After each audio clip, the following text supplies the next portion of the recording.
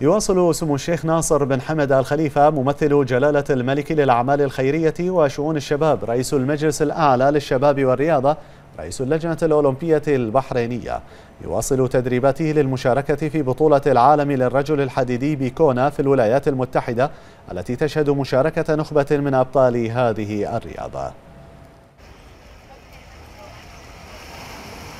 تقام أقوى بطولات الرجل الحديدي هنا في الولايات المتحدة الأمريكية والمشاركة في مثل هذه المحافل العالمية ستحقق العديد من المكاسب الفنية وسترفع من الخبرة والإمكانية وفي عام الذهب سيكون الطموح تحقيق اللقب. وهذا الهدف هو ما وضعه سمو الشيخ ناصر بن حمد آل خليفة نصب عينيه فسموه أجرى تدريبات مكثفة فور وصوله إلى كونا حرصا من سموه على الوصول إلى الجاهزية الفنية المطلوبة في مثل هذه المشاركات المهمة ذات الطابع التنافسي العالي. وقد تدرب سموه في موقع السباق على السباحة بالإضافة للدراجة الهوائية لمسافة 117 كيلومتر. كما أجرى ممثل جلالة الملك للأعمال الخيرية وشؤون الشباب رئيس المجلس الأعلى للشباب والرياضة رئيس اللجنة الأولمبية البحرينية. أجرى تمرين الجري لمسافة 20 كيلومتر وذلك استعدادا للبطولة التي ستنطلق يوم السبت المقبل في جزيرة كونا.